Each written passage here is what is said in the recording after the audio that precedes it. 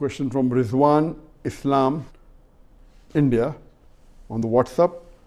I am the greatest fan of you. My question is what is the most effective method to unite the Muslims? The best and the shortest reply to this question is Allah says in the Quran in Surah Imran, chapter number 3, verse number 103, وَاتَسِمُوا بِحَبْلِ اللَّهِ جَمَعًا وَلَا تَفَرَّقُوا Hold all together to the rope of Allah strongly and be not divided.